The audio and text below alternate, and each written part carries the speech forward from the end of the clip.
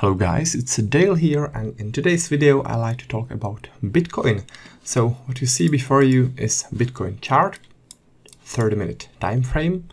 I'm on the NinjaTrader 8 platform with my custom-made volume profile and VWAP indicators and I'd like to talk about the strongest volume-based resistance and support that I currently see on Bitcoin. So the resistance is in here at 26,560 and this one is based on a very significant volume zone which got formed in this whole rotation. As you can see from this rotation the price went aggressively downwards which is telling us that sellers were active here accumulating their short positions and afterwards they pushed the price downwards and this heavy volume zone currently represents a resistance. So when there's a pullback to this level in the future, if there is that pullback, chances are that there'll be a reaction as the sellers from here will want to defend this zone and push the price downwards again. What I really like here is the aggressivity of the sellers. You can see that in here. Hopefully we will see something similar in here. Now the Bitcoin can be sometimes a bit volatile, as you can see in here, and that could mean that it could overshoot the level.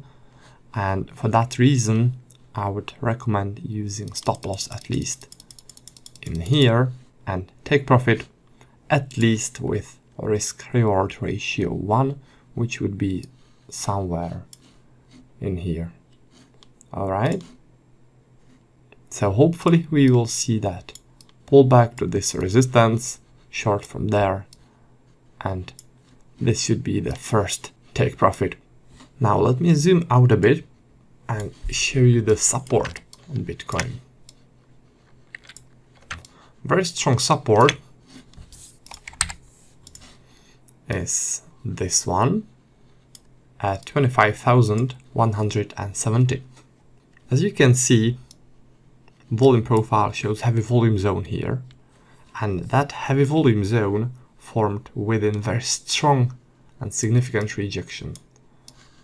This is the significant rejection, where the price was dropping aggressively, then massive volumes were traded, and then price changed direction completely and went into very aggressive buying activity.